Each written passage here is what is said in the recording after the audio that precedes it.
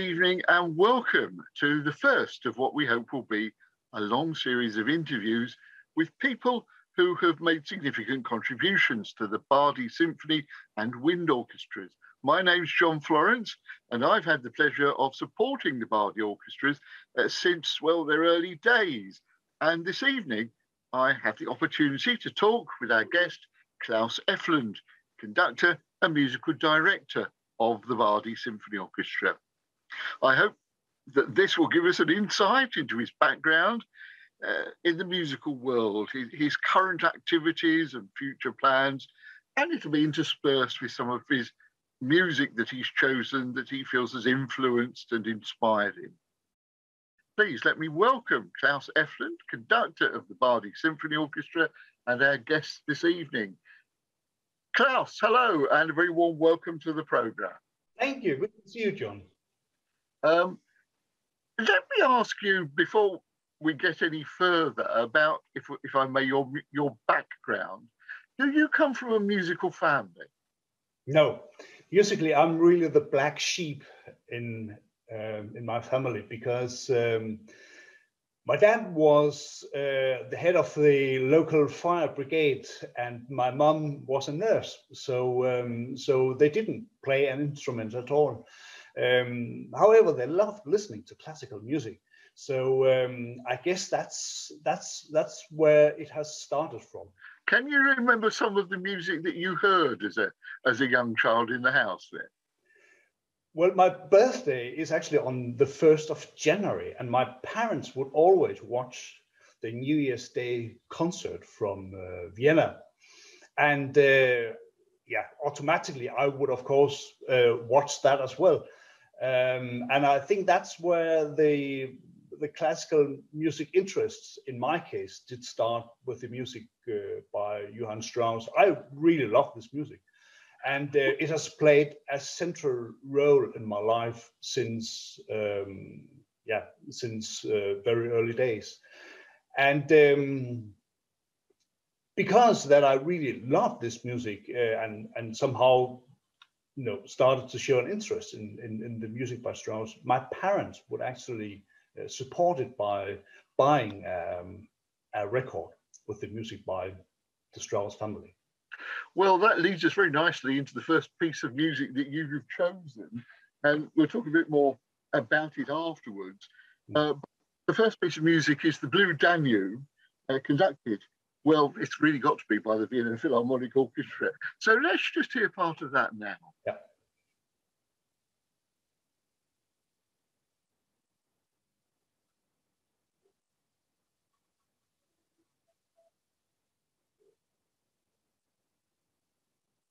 Well, that was part of the Blue Danube, played by the Vienna Philharmonic Orchestra, conducted by Paul Böhm. And um, Claus, one of the interesting things about the Strauss family is that their music uh, was much admired by classical music composers. Brahms loved Strauss waltzes, Tchaikovsky clearly did. Um, it, it, it, there's something about that music that appeals to people will with every taste in classical music, I think. Well, I think with this music, you are just in such good company. Um, and the times we are having at the moment, I think you definitely need to be in very good company. So I think um, I, th- I think this music is really is really the is is, is absolutely um, you know it's it, Strauss was was was really a, a, a, a, person who could give so much joy by his music, and I think really this is what what um, well you know it was a it was pop music at that time, um, but I think you know it's it especially for these times you know the the joy and and, and the positivity the happiness with a touch of melancholy. I think that is exactly the, the right ingredients. What we absolutely right. I couldn't agree with you more. It's that quality of joy. But having said that, I've heard conductors on a number of occasions saying, actually, to really make that music sing and tell is actually quite difficult. Have you found that? Oh yeah. I mean, it's it's um, conducting conducting the bat, the the Fledermaus uh, operetta by, by Strauss is the most difficult you can conduct uh, in, in, the in the repertoire of opera because it's it has to be as slight as Mozart, and it's Mozart with a lot of rubati. It's it's really really difficult to to bring off, as it is also with all the waltzes. Because you know it's if you if you play it if if if you play it rather straightforward, it it just sounds it, it, it loses its its grace somehow. And the recording, what we just listened to um, with with the Carl Berman the Vienna Philharmonic, was actually the first recording I, I, I, uh, my parents they gave me, and I've been about three, four years old, and I really did identify myself with this music in a rather bizarre way because. Um, uh, one of the pieces which is included on, on, on, on the recording is the Emperor Waltz and I loved that piece. And yeah. as a boy, as a, as a as a as a boy, I had an invisible friend, and that was the Emperor Waltz man, and he was with me all the time. And um, so you know, it it it you know, I've I've I listened to this music, and as in particular to this recording, you know, on and on again. And actually, I have got the. We just saw the. Uh, we just saw a, a, cover of the recording. That wasn't the original cover, and I have actually found the the um, the original tape here. I'll try to see if if if you can uh, somehow can see. There's a photo here. Yes. With Strauss. Yeah. Conducting and I love that. I love that. I love that painting. I love that photo. And I sort of, you know, saw myself. I know it sounds a little bit odd, but I actually saw myself uh, a little like the Strauss. I, I was a bit envy, and, you know, and I think you know you can see in the photo there's something special about not just the role of a composer, but also the role of a conductor. Well, let me ask you about that because presumably, well, let me ask you, when did you first feel that you wanted to devote your life to music?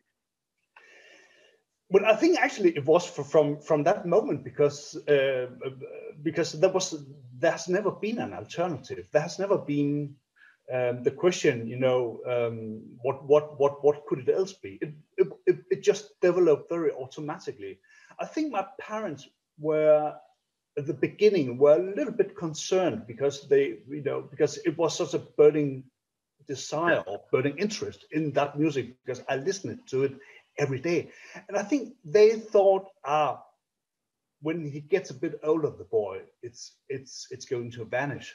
But um, exactly the opposite happened. It, it it got more and more intense. When did so, you know you wanted to be a conductor then? Well, it's a very good question actually, because it raises also the question of whether whether conductors they are born or made.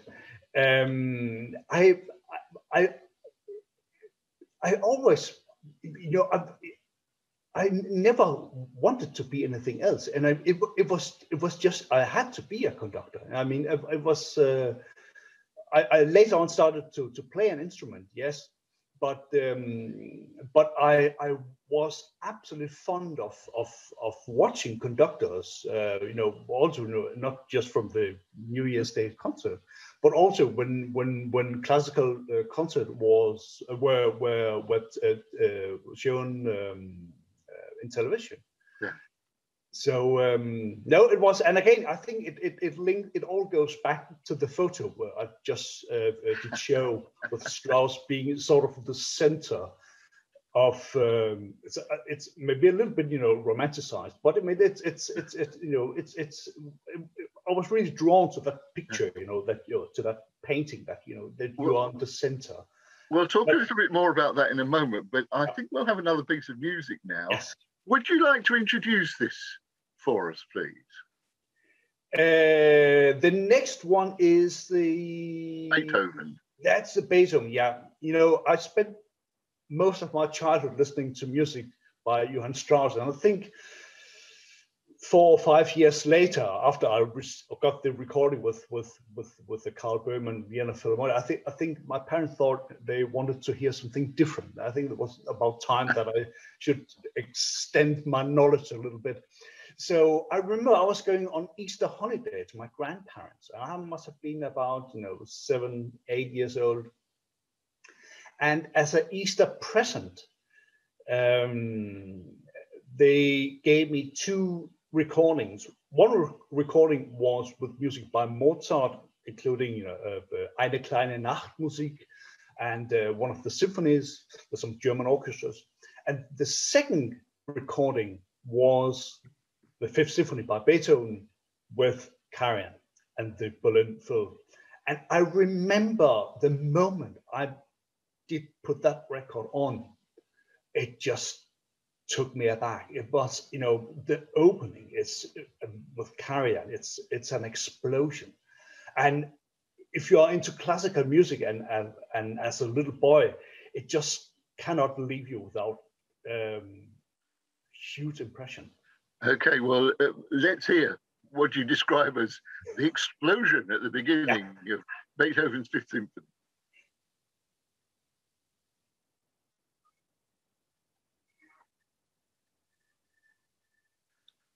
One of the best known pieces of music ever, I suppose. That was the opening of uh, Beethoven's Symphony Number no. Five, the Berlin Philharmonic Orchestra, conducted by Herbert von Karajan. And I think he made about a recording. Was it three cycles of Beethoven's symphonies, three or four? and this was the one that he made in 1963. Um, and I should say, actually, I should have said this before that we are talking to you in Berlin, Claus. Um, but it begs the question when you're preparing a piece of music to conduct it, do you listen to recordings or does that cramp your style? What do you do? Well, I do listen to recordings, but but there comes a moment where where you put the recording away. Uh, so you actually focus on reading, uh, reading, reading the score because that's where, that's of course where where where the interpretation starts. Uh, that's where you start to make you know your your own decisions. Hmm. Because if you're just listening to a recording, you will end up copying um, a recording. So on one side, you know, when you when when when when like the Beethoven uh, uh, like the Beethoven symphony, when you know when you know a piece so well by ear because you have listened to it uh, so many times, it's it gives you, of course, a, a, knowledge that you know how the piece goes. But it can also be very difficult because uh, because you know when you are reading the score, do you actually listen to the recording in your head, or do you actually read uh, the texture? and that that can be that can be quite tricky sometimes and that's some that that's that's always going to be the debate about you know recordings with conductors whether it's good or bad to listen to but i think you know to extend the knowledge and and and, and to keep uh, yourself up to date musically i think recordings are very important now i sort of have a, an image in my mind of you as a young child with a knitting needle conducting the speakers of the gramophone uh, as the Berlin Philharmonic and, and the Vienna Philharmonic play and everything. But what was when was the first time that you actually, in earnest, took up a baton and conducted a live orchestra? Well, I was very fond of um, teddy bears as a as a boy. So I co- collected I collected all the teddy bears. I must have been about you know between 20 or 30 uh, teddy bears, um, collect them together. And then, you know, I just put on the uh, blue Danube walls with the Vienna Philharmonic and uh, would then conduct uh, the teddy bear orchestra. And I have to say, you know, it's the best orchestra I've ever conducted. You know, they never they never complained, and they always sounded like the Vienna Phil. And I remember when we uh, when when when when we when John when we talked the other day, you you said, well, probably at this very moment, it would be very good, you know, to take that up again, you know, to collect your tip orchestra and conduct them again, because at the moment, as a conductor, you don't have an orchestra. But when was the first time you conducted a, a, a real, you know, ensemble of musicians? Oh, that, that, that's that's that's uh, uh, uh, very later. Um, that must have been in the mid 90s. Um, I went to uh, in Denmark. We have got a, a music uh, camp for amateur players, um, uh, which is every summer. Um, a big, big event with um, uh, about 400 uh, amateur players, uh, you know, making various groups of, of orchestras. and uh, it all happens within the week. So there's there's there's a there's a schedule for for each day with rehearsals, um, but in between you can actually form your own orchestra uh, as a sight reading orchestra. You know you can collect an orchestra together to play a symphony for two hours, or you can also play a lot of chamber music. And um, one one of the years, I think that must have been about the mid '90s, I collected an orchestra to conduct uh, the Egmont Overture by Beethoven. So that was that was that was the very first time I stood in front of an orchestra as conductor. And I, I mean, um, can you remember how you felt? Because one of the things about being a conductor, well, this is again in my fantasy, is that wonderful feeling that you bring down your baton and this wonderful sound envelops the concert hall. I mean, it's it's. I, am almost tempted to say it's a kind of power trip, really. Did you feel that, or were you just so nervous you didn't feel anything very much? well, I, I, definitely was nervous. I can tell you now, but but at the same time, I must say, you know, because I I I I was studying music already at that time, yes. um, studying the violin and also playing the piano and um, so I, I, I had a lot of experience already playing in orchestra as a as as as as, as a fiddle player. Um, but the repertoire for a conductor is is the best. I mean, as as as a fiddle player, as a pianist, you know, it's it's compared to a conductor, it's fairly limited. But yeah. as a conductor, you have got the best repertoire, yeah. and the feeling standing in front of an orchestra was actually amazing. Yeah, and it you know, of course, it it it. I, I wouldn't use the word power, but but but of course, it is it is something special when you're up there and and and and and yeah, people are trying to follow you, whether whether whether it's possible or not. But um, but I just remember that experience was was for me really um, the mark where that was definitely not an orchestra player I was going to end up. Yeah, you, uh, you, there was no turning back from that point. Well, we're not going to hear an orchestra now. We're going to hear a piece of piano music from, from Grieg. Why have you chosen this? Well, if I had to take a recording with me on a desert island, I would definitely have to take something Scandinavian with me.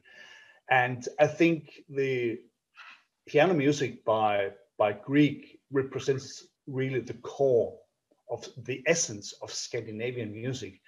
The lyric pieces by him are of such a great importance because if you if if let's just take his piano concerto and i think to understand his piano concerto even deeper you have to know his his lyric pieces quite well because that because the piano concerto is actually made of, of small, small pieces put together. And now you might think that the lyric pieces are just very technically easy, uh, small pieces, which, you know, everybody can play. And I've even, even I'm not a very good piano player, but but I've I, I actually managed to, to play some of them. Um, but they have got much more depth into them and um, he wrote 66 uh, in total. And there's a big uh, gap between the first one and the very last one. The very last ones they start to be a bit more you know hmm. mysterious a little bit more you know where you don't really know uh, where there is actually if there is a tonality or not. Um, and the album uh, the cd the, the reference recording of the lyrical pieces is the one with Emil Gilels, which we're going to hear. That. Well, let, let, us hear, uh, and yeah. it is in fact uh, it's Arietta we're going to hear, which is the very first one. Yeah, which is the first one. So, so let's hear that now. Yeah.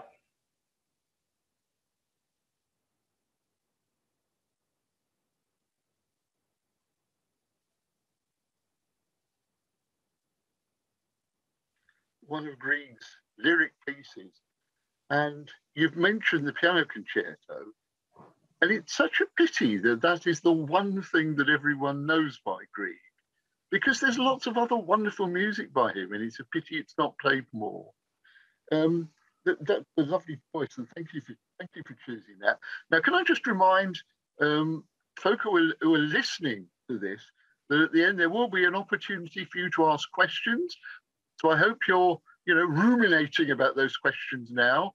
Um, and as I say, uh, all will be revealed at the end how you can ask those questions. Um, Claus, um, let me come back to this business of you deciding that you were going to be a conductor. Did you, how did you train to be a conductor? Because you can't, I mean, you can just do it, but these days you tend to get trained to be a conductor. How did that happen? When I when I entered the music academy in Denmark, I had a um, I had a violin professor who sort of um, who, who started to feel that that the the, the violin repertoire wasn't quite enough for me um, because um, I was I, I, I had of course to play the basic standard you know violin repertoire you, know, you have to play the Bach and etc.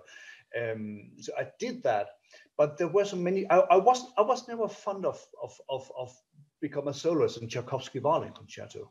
And that was where my professor started to say, well, actually, and you also, you know, we had a lot of conversation about music in general. And that was after where my professor actually started to say, I think you should become a conductor.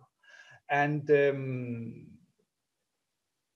my parents, as I said uh, earlier on, did not have any musical background. So it was a little bit difficult for them because if you have a child who is waving uh, who, who's waving the arms all the time you know and you know with, with the middle stick and everything uh, after recording which you know i've done all that uh, you know what what do you do with it and and, and if, if you feel well it's it's it's not going to vanish. It's not going to, to be less and less. It's going to be more it, it, it's it's it's going to be more and more. Um, so i think that was that was actually um, that was actually uh, uh, uh, uh, it was well spotted by by, by my professor in, in, in, Denmark at that time, and that was where I was then sent to a, um, a conductor in Denmark, uh, where I started to take lessons.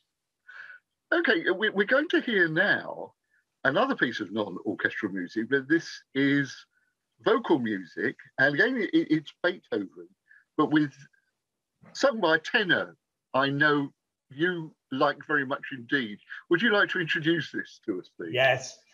Um, I love tenors. I, I love I love the tenor. I love the tenor voice. Um, and again, if I had to be on a desert island without any contact to any to anybody, um, I would definitely need to have some tenor, uh, the voice of a tenor with me, and there would be no question that would have to be Fritz Wunderlich which I just think is maybe the biggest tenor, uh, which we have got died far too early and far too sad. Uh, but what an achievement, what a legacy he has left us, which tells everything. Um, well, I, have got some records of him singing Schubert, but I don't think I've got him singing Beethoven. Now, what, no, what have you particularly um, chosen this? The the album um, contains the um, Schumann Dichterliebe, and I think that must be one of the best ever recorded um, Lied cycle by by by by Schumann. And um, so get get to listen to that because that I can only recommend it. It's it's absolutely beautiful. But what what would you would uh, what you also would discover on that CD is that it contains some Beethoven and Schubert songs as well. And one of my favorite Beethoven songs is the Adelaida, And um, before I heard the Wunderlich version, I knew a couple of other tenors uh, mm. uh, on record uh, as, uh, who did record it. But I must say the Wunderlich is absolutely amazing. And on top of that, you have Hubert Giesen, who is an absolutely amazing uh, accompanist. It's like a, a German uh, Gerald Moore. Um, and the way not just that the uh, the Lied the Adelaide by Beethoven starts, but the way that um, Wunderlich actually pronounces the word Adelaide. I've never heard anything like that. It's absolutely Let, amazing. Let's hear that now.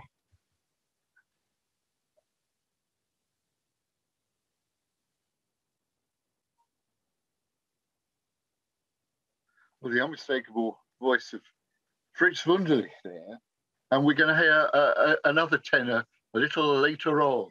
So uh, we look forward to that. You have mentioned training to be a conductor, but I imagine some of the things that you have to do as a conductor has got nothing to do with what you can be trained for because you're you're you're meet, if you go to an orchestra for the first time you're meeting what sometimes 70 80 people for the very first time and you've got to be able to make them do what you want them to do. So meeting an orchestra for the first time must be pretty nerve wracking must it? You've got to kind of establish yourself with them right from the off. Yeah, it's um, it's usually the first ten seconds which are which are which which are most important. That's that's where you can you can tell uh, whether this is going to be a good week or not. Um, and actually, it, it's it's it's very funny because as a I, I know that as an orchestra player, actually the when you see a conductor for the first time at 10 o'clock on Monday morning, just the way he, he, he walks to the rostrum, you can tell whether it's going to work or not. Um, on the hand, as a conductor, you can also time uh, you can also tell what you know how it's going to be for the rest of the week.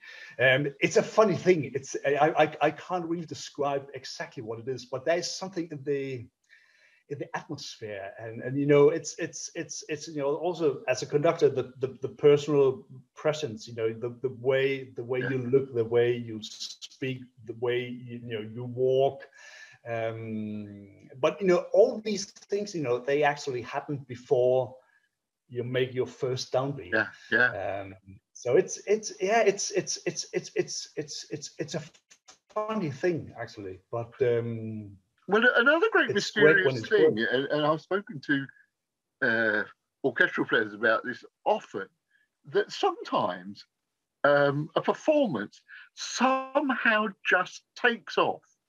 And it, it's as if the orchestra is playing uh, more than the sum of its parts, as it were. It just absolutely goes wonderfully.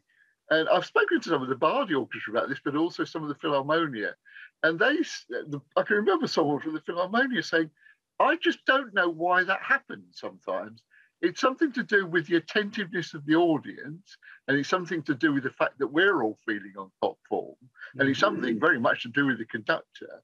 What you can put, you can't put your finger on why it is that sometimes uh, a performance goes absolutely brilliantly, and other times it doesn't quite take off. No, it's a it's it's a it's it's it's it's a funny thing because it's it's it's very difficult actually to to to put words um, um, to it. I remember um, when Abbado was a chief conductor, Claudio Abbado was a chief conductor here in Berlin. Um, we have some friends playing in the the, the Berlin Philharmonic, and I, for for some years I, I really wanted to to see some of the rehearsals he was doing um, and the and the uh, the recommendation was always there was always what I got to hear. Don't go to the rehearsal; they are dreadful. But come to the concert. That's that's that's where it all happens. And with Abbado, it was actually very um, very phenomenal actually because Abbado was not was not a, a great rehearser. Um, and he could have all these, you know, difficult pieces, difficult scores, like uh, the new Viennese school, the second Viennese school, Schoenberg, Berg, uh, Webern, um, which you know would usually take a lot of rehearsal time, really hard, detailed rehearsals. Um, and he never did that. But in performances, this was just sound. He would be the only conductor who could make this so transparent. And don't ask me how he managed to do it, but it's unbelievable. They're, these are mysteries. These are deep waters, and I don't. Yeah. I honestly yeah. don't think we ever will get to the bottom of this. But um, we, are going to have a bit of opera now, um, something completely different from what we've heard before. This is Alban Berg talking of the the, the Second Viennese School, mm. and it's from his opera Wozzeck. Now, why have you chosen this? Well, when I first time heard Wozzeck was back uh, in the late 80s. It was 1988. And um, I was not very much into opera. Um, that was something that came uh, later on. I tried with Wagner at the time when Boulez did uh, The Ring of Bayreuth, um, but I, I was not really, it was a bit too long for me. Um, with Wozzeck, it was a, it was, it, it was, it was, uh, it was different because it was much shorter. Because you know, Wozzeck is only about one, uh, one hour and thirty minutes, so it's even shorter than third act of Meistersinger by Wagner. Um, but I think Wozzeck has got everything. Um, it's, it's, it's very dramatic. It has a fantastic story, and the music is absolutely um, it's it's it's it's it's a the music is a natural development from Wagner over Puccini, from Debussy over Richard Strauss, um, and um, I don't know. I hope there's a little bit of time. Uh, there's I, I, there's actually a, a, a, a, funny story behind um, um, when I saw the the first time in 1988 the Vienna Sta State Opera um, did set up a production of, Wozzeck with uh, the Vienna Philharmonic and, and Abbado, uh, Claudio Abbado as a conductor. And um, that production had a special uh, attention in Denmark because uh, one of the uh, roles was uh, was sung by a Danish bass singer. The, the, role of the doctor was sung by a Danish bass singer called Åge Haugland. So um, the performances uh, of Wozzeck were shown live on Danish television, and that must have been about August, September 1988. And I remember it was um, it was a sunny Sunday afternoon, and I was home alone, and I did put myself in front of the telly and I watched it, and I watched it without losing any concentration um, I didn't start to do anything else, or you know, I was just focused on that performance the entire time. And after that, I decided I wanted this recording as a Christmas present. And I said that to my parents, and um, they gave me on Christmas Eve, on the 24th in Denmark, we get our presses on the 24th in the evening um, my parents bought the recording of Wozzeck. And I remember when I had finished opening all my presents, I just went into my room. My parents did follow me because they didn't know Wozzeck. They had never heard about it before. So they were very curious to what, you know, what would it sound like, what I uh, so burningly would have wished. Um, so they came with me into my room and I put then on the record and heard the beginning of Wozzeck. And my parents, they left my room very discreet, very quiet. I think they were slightly worried. I'm sure that no one is going to leave us this evening. Uh, but let's let's hear. This is the opening of Wozzeck by by Berg.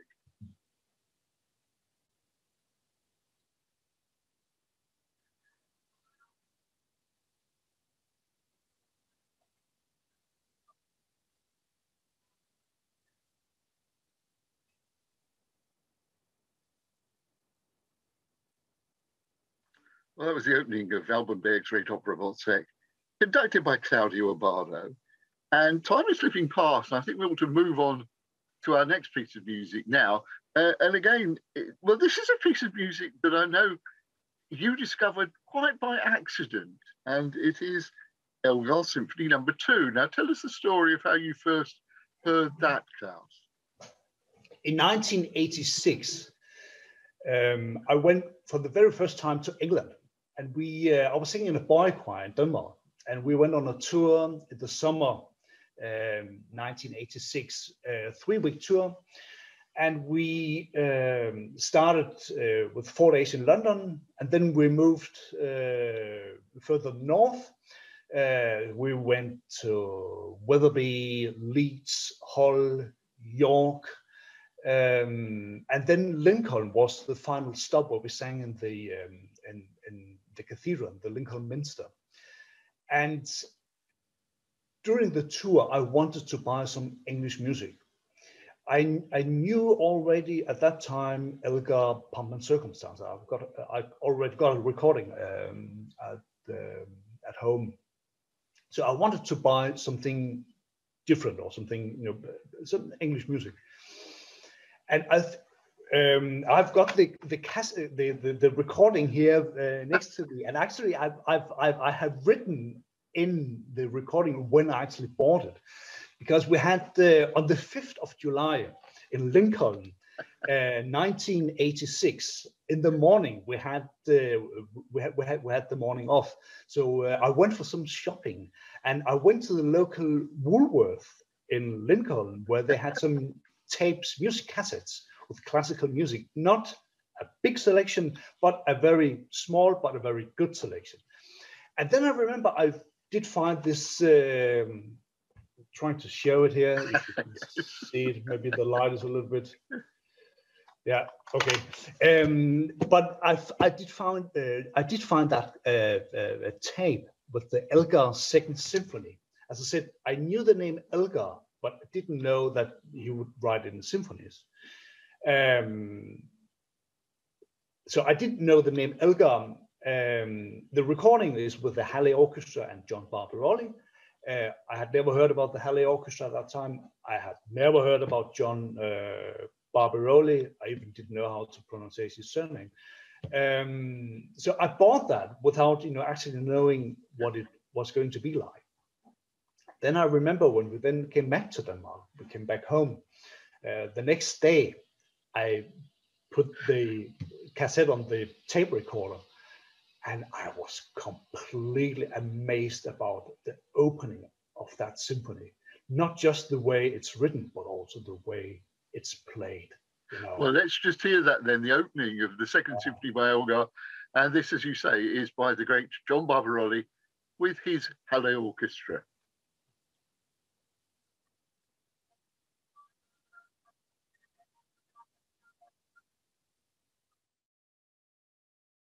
That is a that is a, a wonderful piece of music. And Claus, uh, of course, in England we think of this as English music because Elgar was an Englishman, uh, mm. and he looked like, he looked like a retired colonel or something, though he wasn't. But um, these days, Elgar is played by Haitink and Barenboim and Solti, these great European conductors. And Barenboim says Elgar is not English music. It should be considered as proper mainstream European music. Now, as a, as a Dane, do you think of Elgar? Do you think of that as English music, or what do you? How do you feel about it? Oh yeah, because I, I think you know it's it's it's a little like the the Grieg. I mean, if if you know you can feel the Scandinavian touch in it. You know, it, it's it's it's the way it's written, the way it's put together, the way you know and it's the same thing with with with with the Elgar. And uh, you know, again, uh, uh, uh, suggest me a symphony which has got the same sort of opening. I mean, it's it's uh, you know, it's I I kind of um, I cannot think about any symphony which has got the same, you know, and and and and, and then what is special about this recording is you can really feel that is you know the relation between the conductor at the orchestra, it's like one unity. It's just you know two parts which are just so melt together. Um, so that's what that's the reason when when I say about this recording about the opening, it's not just the way it's written, but it's also the way it's played. Well, I, I, couldn't agree with you more. It is an absolute, it's a wonderful, wonderful recording that. Mm. And I suppose really Elgar was in the Hallé's bones, really, wasn't uh, wasn't he? They, they knew how to do it. Um, uh, we're, we're sort of cutting out quite a lot of your career, I'm afraid, Charles. But can I ask you how you came to be involved with the with the Bardi Symphony Orchestra? Um, well, I've been with the Bardi for a very long time actually, because the first time I came over to um, to work with the orchestra was back in 2005 in March. Um, And the reason behind it was um, 2004. I was uh, one of the finalists in the uh, Donatella Flick con uh, conducting competition in uh, in London with the uh, London Symphony Orchestra. And um, funny enough, uh, I was actually not, you know, I, I, didn't get the first prize. I became number two, but but the one who was number who got the first prize was actually did actually receive the, an invitation to come and work with the Bardi, and um, but for whatever reasons couldn't do it. He didn't have the time for it or, or, or whatever. So um, strangely enough, the LSO rang me up and said uh, if I would be interested to go to the Bardi. And they, uh, I remember the program was Crown Imperial by Walton with Bruch uh, Violin Concerto with our own Adam Summerhayes as a soloist and uh, then the Scheherazade by Rimsky-Korsakov. And as a conductor, when you see a, pro a, program like that, you know, it's very difficult to say no. Um, so, and on top of that, I've, I, I, I did make a little bit of research, you know, to find out, you know, what, what, you know, what is, you know, what is the Symphony Orchestra? Because I had never heard about it, even that I had been living in, in, in, in England for, for four years. Um, so, um, and the people I spoke to, and when I mentioned the the, the Bardi Symphony Orchestra, said, "Oh, go for it." So, um, and the rest is history, as they say. And you've been, I can't believe it's 15 years we've been doing pre concert talks together. Yeah, well, you know, you know, you, uh, you, know me better than my wife, actually. well, I hope not. Uh, no.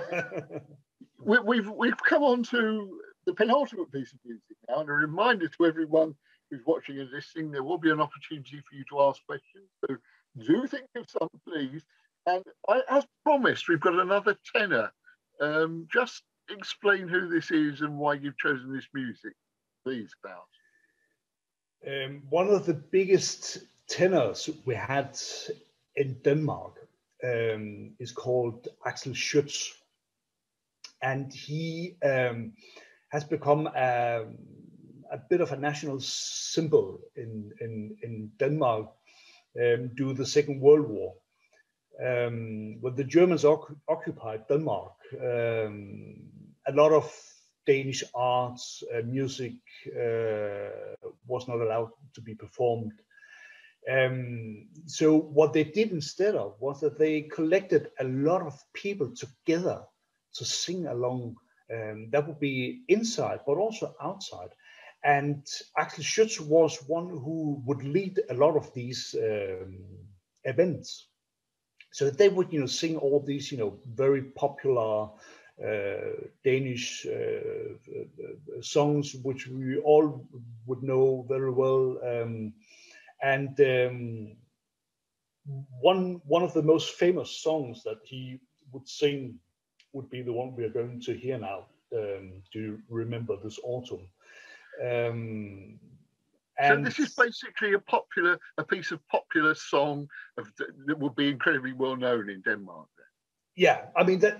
I mean that. That's you know also Carl Nielsen wrote uh, uh, a lot of songs which you know you would sing uh, at school yeah. and you would ask, could ask every person on the street you know about uh, you know, and and and, and they would know they, they, they would be uh, able to sing it. Um, and this even it's not uh, Carl Nielsen who has written this song, but another uh, Danish national romantic called Peter Heise.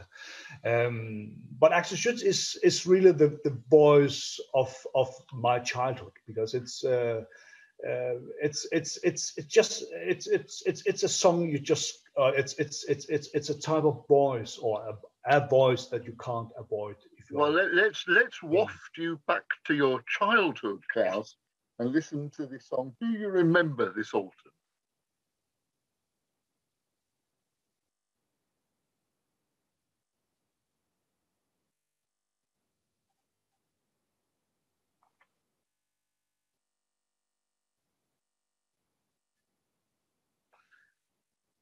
Listening to that, um, you clearly like that kind of light very expressive tenor voice because I mean Wunderlich and, and what we've just heard are rather different, but they've both got that wonderful clarity and lightness of voice.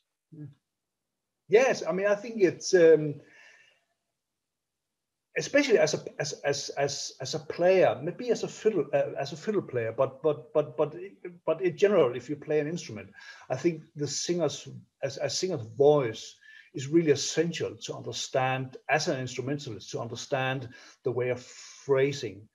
Um, so I think it's it's it's. Um, I I remember I, I used to have um, another uh, uh, violin professor who would always um, refer to as a, a, a, a rather well-known German tenor called Josef Traxel, and there he would. Uh, there's a recording uh, of him singing the, uh, the the the famous tenor aria in the Rosenkavalier by Strauss, and that was always that was you know the voice of of Traxel was always used as a model for a string player. How you know to phrase and how to play a proper legato. So I think you know that is is is um, I've you know I don't sing myself. I don't you know I'm not a singer by myself, but I I've I've I've, I've I have learned a lot from singers and also listening to singers. Well, thank you for introducing us. I'm sure. Well, I'm I certainly have never heard that before, and I'm sure most people listening will not have done that. I think that's absolutely beautiful. Now, very sadly, we're, we're coming to our last piece of music now, though as I keep saying, there will be an opportunity for folk to ask questions, and we hope that you will do. But I suppose we can't really not have a choice of music and not have Mozart, and you've chosen Mozart's Piano Concerto number 27. Why, briefly, have you chosen this?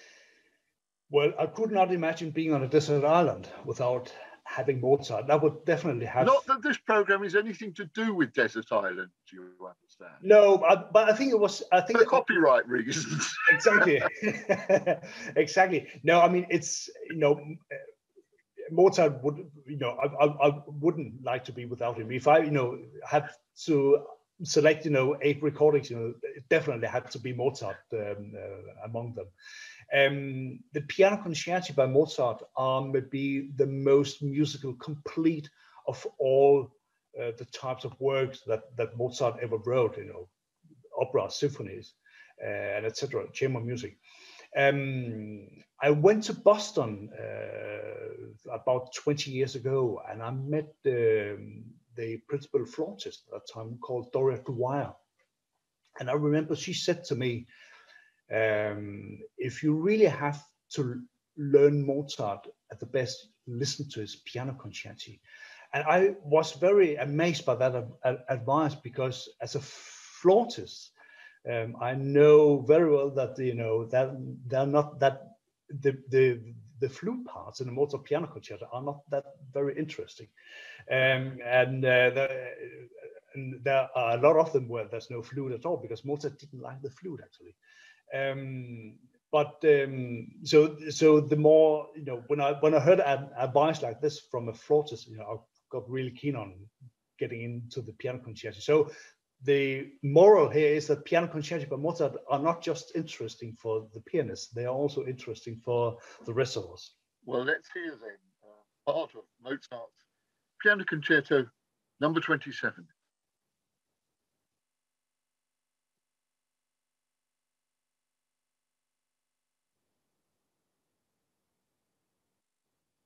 That was uh, part of Mozart's Piano Concerto number 27.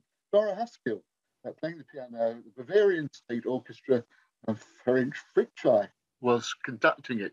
And that's your last choice, Claus, but we're not going to let you escape yet because what we're going to ask you to do is join, uh, is answer some questions from the folk who are watching and listening.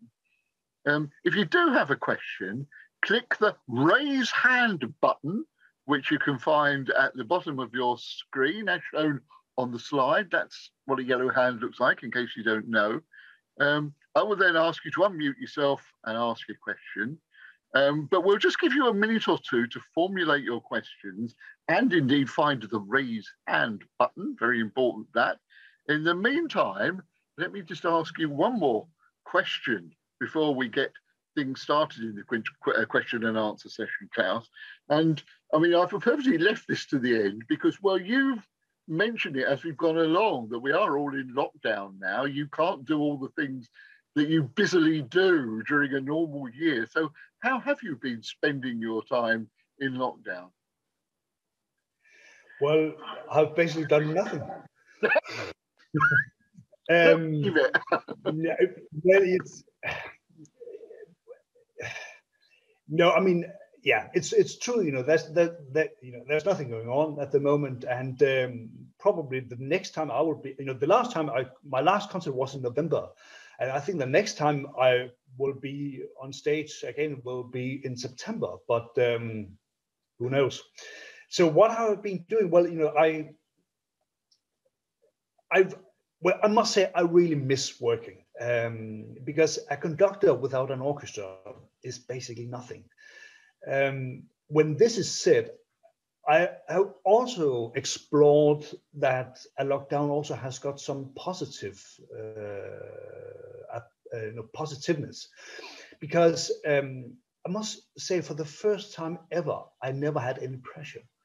Um, you don't have to, you know, piles of scores that you have to learn.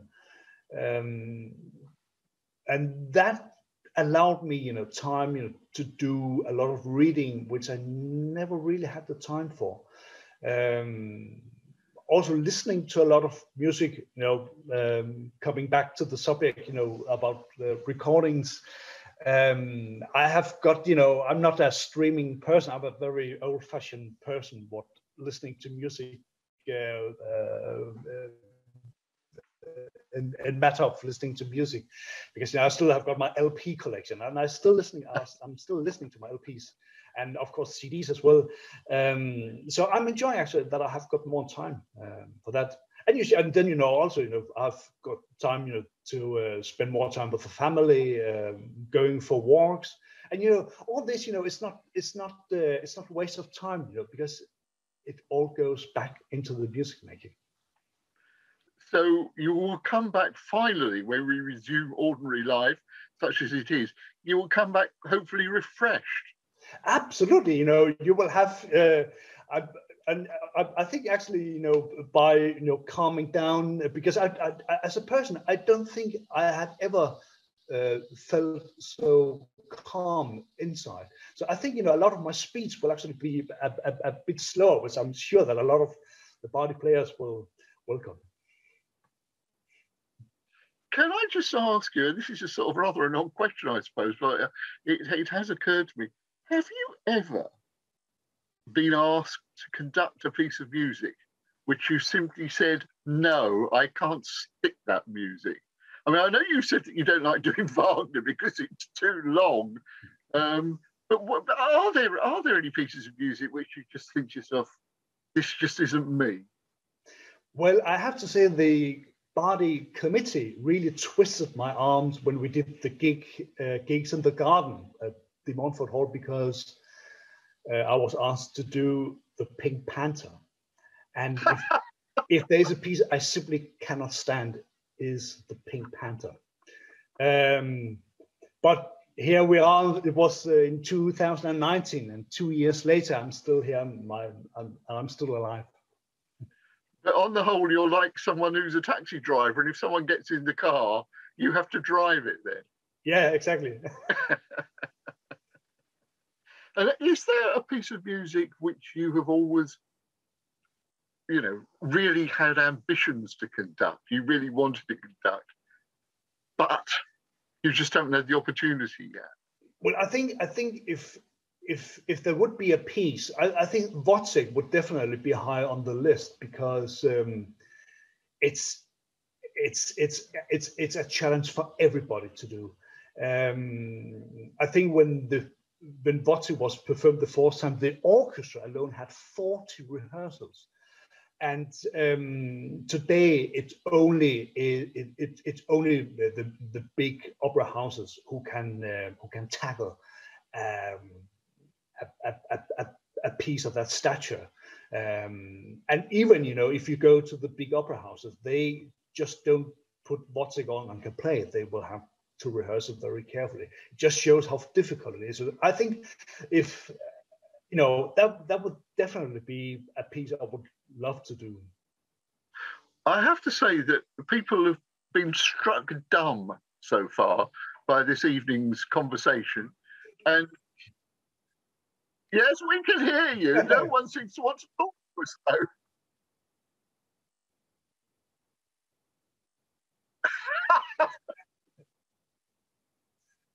Gentlemen, it's been a wonderful evening. Absolutely fantastic to hear you both and, and going through it. Um, I presume you're trying to do some yellow hands, or if you're not, you are being very quiet. I've asked my brother to ask a question as well. Claus, I've always wanted to ask you this question. What do you think of Leicester? You clearly did not know where Leicester was on the planet, I presume, when you were asked by the Bardi Orchestra. What do you think of Leicester now? Oh, 15 I, years I, later. Sorry? 15 years later. 15 years. Oh, you know, I've, I've, well, I think actually the moment to ask that question is very good because you know now I haven't been in Leicester for so long time. I have to say I miss it. I really miss it. It's it has become my second home. So have we got another question then, dear boy? Hello, John. It's David here. Oh, David, a question from you. Gosh. From one conductor to another. Claus, I have your baton in my music room. It's rather different to my baton, and I know you don't like using my rather heavier weight ones. What's what's it about a light baton with you? Why do you prefer that to a heavier weight one? Um, well, I've, I've um, I don't know if, if I actually have got any uh, preferences because um, I remember when I started conducting at the Royal College of Music, we were all forced to um, to use different uh, batons, you know, different lengths, different weight, um, and also you know with with with with with, with the um, with the different uh, uh, uh, you know handle.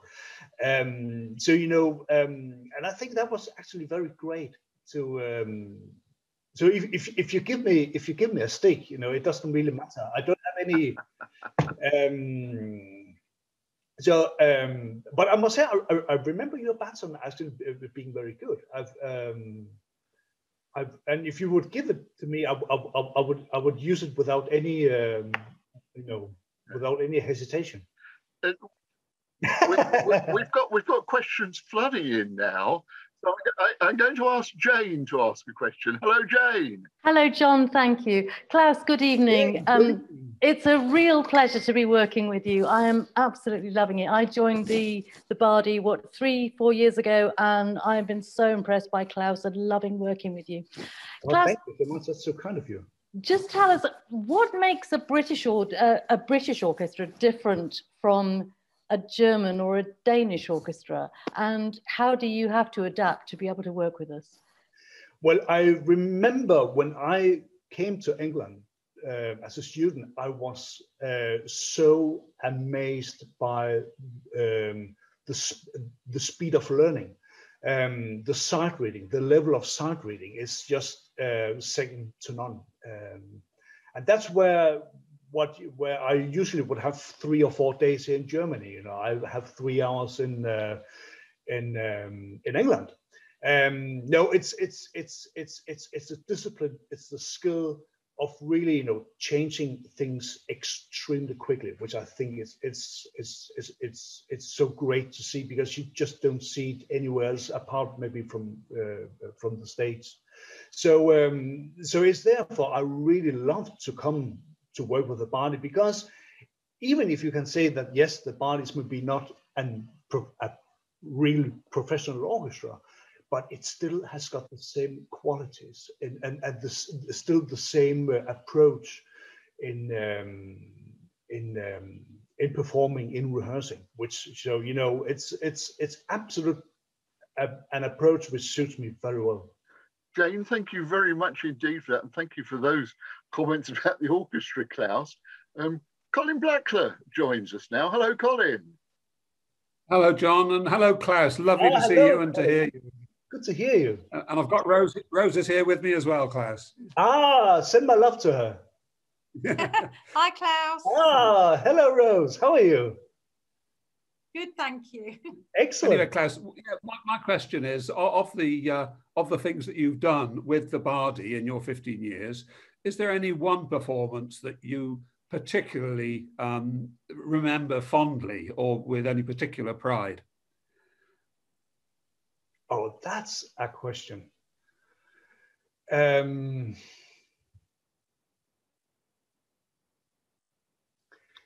well, the problem is if, if I mention one, I have to actually to mention all of them. Um, I, I remember one of the very early concerts I did with the Bardi where we did the Verdi Requiem with the Bardi Symphony Chorus. Um, and I remember Eric Chapman was leading. And in the big final cl climax in the Libera me towards the end of, of, of, of the Verdi Requiem, um, I just remember everybody just went for it and um, and uh, um, I didn't actually feel it in the in, in, the moment where it happened, but I um, I uh, when I got the the recording, um, I listened to it, and I couldn't believe what I heard, and I remember. After the performance, Eric he came to me uh, when we walked out together, and Eric he said, "You know what the hell did you do to them there?" Um, um, and I remember when when we were when I was listening to the recording here at home, my my uh, my wife, uh, uh, couldn't believe that it was done by a local amateur orchestra in England because and and and and, and with a, with a, with a, with a with an amateur chorus because it was just absolutely amazing. Try to listen to it. It's just you know towards the end of the Libera me, the Verdi Requiem, and you will just hear you know this is just you, you know you will get everything blown off. Colin, th thank you so much for that question and thank you for that answer, Claus. Richard Meads wants to ask a question now. Good evening to you, Richard. Good evening, John. Good evening, Claus. Good evening, Richard. How lovely to hear from you. How are you? It's very good to hear you. Can you hear me okay? I can hear you very well. Fantastic. I'm very much looking forward to coming back and performing with you. Well, it's going to be so great to have you back, Richard. um, my question, as a um, obviously as a, uh, a, musician, we have very we have different challenging pieces, like for example, the Rite of Spring, etc. Um, as a conductor, what's the most challenging piece that you've conducted to date, and why?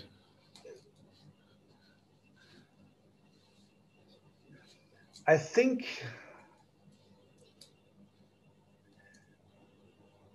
I think um, one of the pieces I've been looked, uh, one of the pieces I've looked at um, uh, during the lockdown has been the um, uh, variations by uh, by Arnold Schoenberg, uh, Opus 31, I for full orchestra. I think I, have I must I have never conducted that piece, but I think that is from uh, I think that is the most challenging score I ever have seen so far.